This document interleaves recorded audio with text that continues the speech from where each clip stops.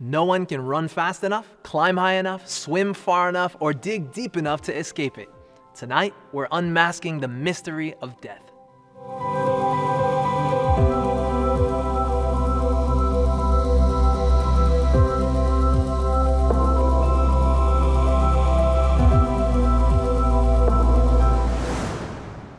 A young boy was walking through a cemetery and noticed a tombstone which read, Stop, my friend, as you go by. As you are now, so once was I. As I am now, you soon shall be. So prepare yourself to follow me. The little boy stopped and thought, and he pulled a crown out of his pocket, and under the words he added, To follow you, I'm not content until I know just where you went. Death, absolutely unavoidable. All who live long enough will experience it. But what is it actually? What happens when we die? Where do we go when we die? Is death the end of the journey or just the beginning of another one? Different beliefs have led various cultures to approach burial in different ways. Here in the Western world, a coffin is buried underground typically. The Buddhists of Tibet prefer a sky burial where the dead are given over to vultures. In Egypt, they mummified the pharaohs and buried them in the Great Pyramids. Hindus have open cremations on the Ganges River, and the ancient Persians, some of them at least, buried the dead in cracks of a cliff face on what they called the Mountain of Mercy. Friends, the good news is that death is not the end for the friends of Jesus. But do people live on immediately after death? Before we take a look at past history to understand today's world, we're going to fly through some Bible verses together. 52 different times, the Bible calls death sleep. Here are just a few examples. In Psalm 13, verse 3, David prayed to God, Enlighten my eyes, lest I sleep the sleep of death. In Daniel 12, verse 2, it reads, And many of those who sleep in the dust of the earth shall awake, some to everlasting life, and some to shame and everlasting contempt. Jesus himself called death sleep on multiple occasions, like with Lazarus in John chapter 11. Later in the New Testament, after Stephen was stoned to death in Acts chapter 7, the Bible says that he fell asleep. And finally, in Ephesians 5, verse 14, Paul says, Awake you who sleep and rise from the dead. The other morning, my wife Sharissa asked me, You remember what you did last night? Then she proceeded to tell me how I sleepwalked to the door of our room, and she asked me, she woke up and she said, What are you doing? And I evidently grouchily told her, I'm changing my wheels. I must have been working on my summer board in a dream. And you know, I told her later, I probably would have gotten a lot accomplished if she hadn't stopped me. So, is death a sleep where people dream and still have their brains partly functioning?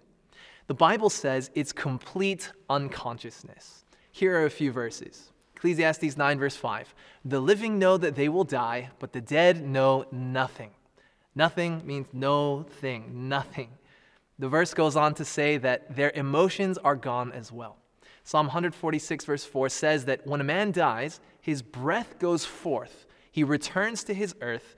In that day, in that very day, his thoughts perish. Another one that clarifies is Psalm 115, verse 17, that says, The dead do not praise the Lord, nor any who go down to silence. The Bible is painting a very clear picture, isn't it? Listen to the words of William Gladstone, a four time Prime Minister of Great Britain. In spite of some of the confusion on this topic in most of Christianity, listen to this. And I quote The doctrine of natural, as distinguished from Christian immortality, crept into the church by a back door. The natural immortality of the soul is a doctrine wholly unknown to the Holy Scriptures and standing on no higher plane than that of philosophical speculations disguised as truths of divine revelation. Wow, he nailed it. And we'll prove his words in just a little bit. But the Bible doesn't paint a picture without hope. It teaches that death is asleep until the resurrection. David said in Psalm 17, verse 15, As for me, I will see your face in righteousness. I shall be satisfied when I awake in your likeness.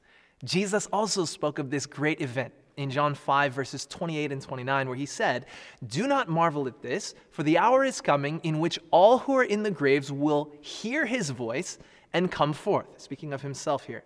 He says, Those who have done good to the resurrection of life, and those who have done evil to the resurrection of condemnation. So, when will the righteous awake and come back to life? 1 Thessalonians 4:16 says, "For the Lord himself will descend from heaven with a shout, with the voice of an archangel, and with the trumpet of God, and the dead in Christ will rise first." The followers of Jesus will be resurrected at his return to live forevermore. God plans for us to go to heaven, but the dead won't beat us there. He plans for us to go there together. So we've seen that the Bible says death is like an unconscious sleep that lasts until Jesus resurrects the dead back to life. But what about this idea of humans having an immortal soul? Well, it's found nowhere in the Bible. Come with me to the Bible's first mention of death's existence Genesis 3, verses 22 and 23. Then the Lord God said, Behold, the man has become like one of us, to know good and evil. And now, lest he put out his hand and take also of the tree of life and eat and live forever, therefore the Lord God sent him out of the Garden of Eden. So Adam and Eve didn't naturally have immortality. God made it conditional upon eating from the tree of life. So, in order for sin not to be immortalized, he banned them from the Garden of Eden. The Bible is crystal clear that humans don't have an immortal soul. Ezekiel 18, verse 20 says, The soul that sins, it shall die. As humans, we're all mortal. And 1 Timothy 6, verse 16 says that God alone has immortality.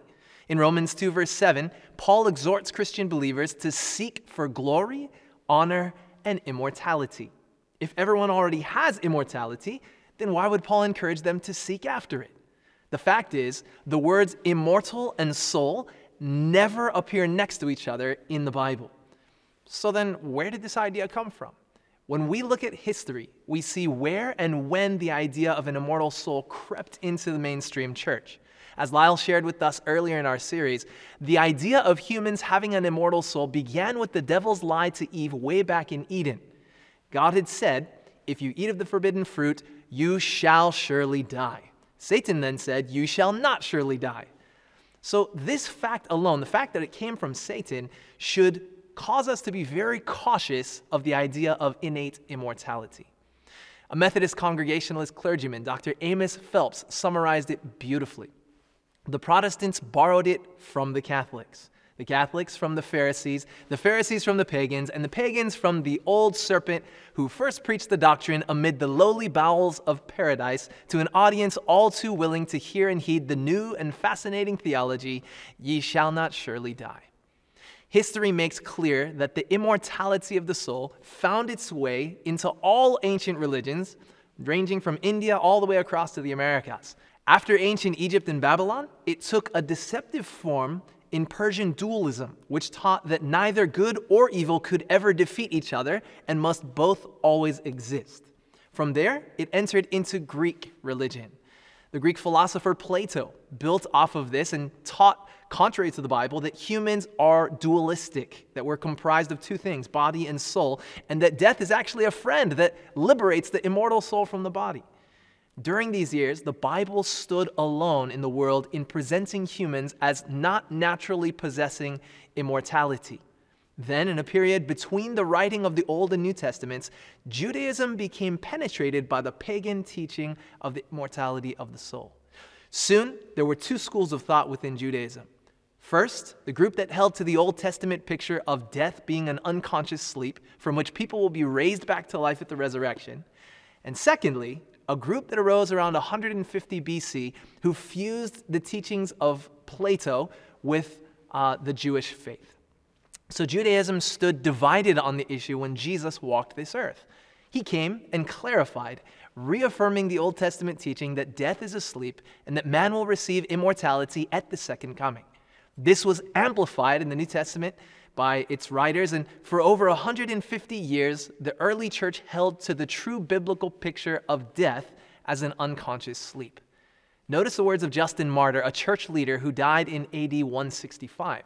He said this If you have fallen in with some who are called Christians but do not admit this truth of the resurrection, and venture to blaspheme the God of Abraham, Isaac, and Jacob, who say that there is no resurrection from the dead and that their souls, when they die, are taken to heaven, do not imagine that they are Christians. Wow. He said, if someone believes that they go to heaven when they die, they are not a Christian. So clearly, for over a century, the early church had no confusion on the subject. But then, about 25 years after Justin Martyr's death, a church leader named Athenagoras started teaching that old pagan idea that humans have an immortal soul. Tertullian took it from there and expanded it into a system of belief that included eternal torment by fire. From here, the belief spread through mainstream Christianity and then to the Church of the Dark Ages. When the Protestant Reformation began, some people, like Martin Luther, recognized the unbiblical origin of these false teachings. But through the influence of John Calvin and others, the Protestant reformers continued holding on to these pagan principles. And hence, they have come all the way down to today. Go to the words of historians, check it out for yourself. So, to summarize, we've seen first, the idea of the immortal soul doesn't come from the Bible, but from paganism. Secondly, God alone has immortality. Third, he promises immortality to everyone who accepts Christ by faith. And fourth and finally, soon Jesus will come and resurrect his people who have fallen asleep in death. Remember Ecclesiastes 9, verse 5? It says, The dead know nothing. But listen to this. A spiritualist named E.W. Sprague said, and I quote, Spiritualism says that the dead know more than the living.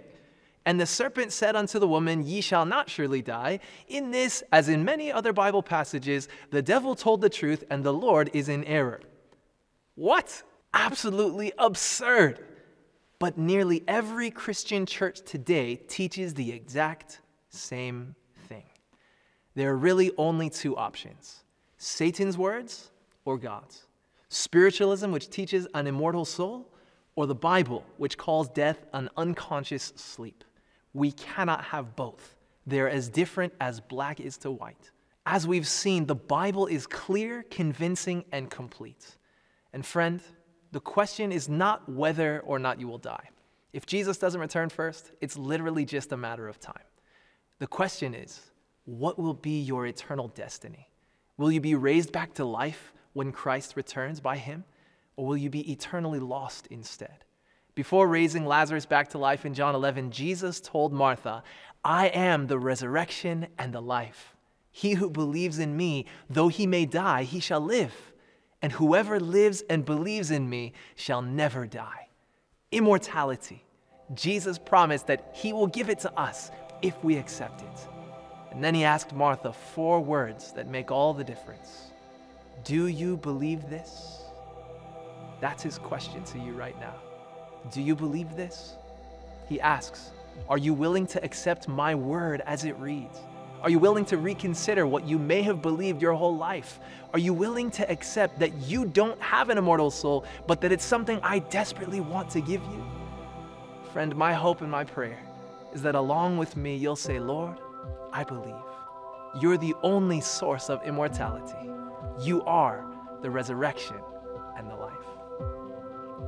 Friends, I hope you enjoyed that brief Bible study on this all important truth about what happens when we die. Just a reminder, you're not going to want to miss the highlight of our series on Tuesday night. Kathy's going to be sharing her story of how she went from being a psychic and clairvoyant to a Bible believing Christian. So be sure to tune back in.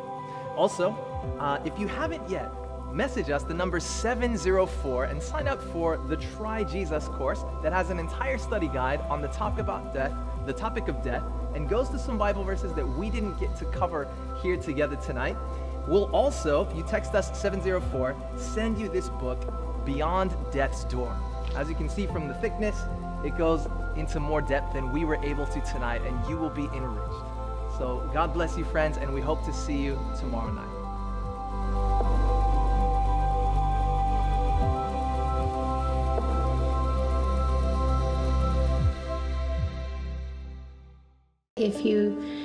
Honestly think that you're going to find peace and, and love and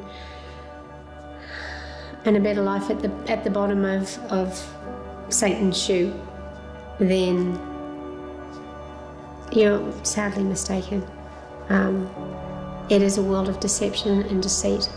Satan is a liar, uh, and he lies about what he will offer you. You will search for a peace you will never find. Um, you will be given a look into a world that he knows about. He knows about heaven. He's been he's been there. He knows about he, he's he's been beside God. He knows what to counterfeit. He knows what it looks like. Um, he knows the things that we wish we could do. Um, but they can't, you know, demons can't read your mind. They can plant thoughts into your mind, but they can't read them.